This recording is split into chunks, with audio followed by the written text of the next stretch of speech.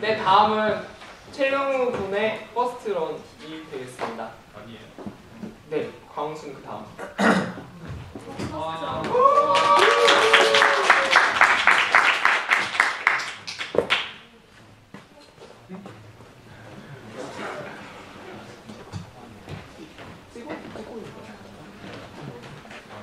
제가 있던 사돌이라는 거 아시죠?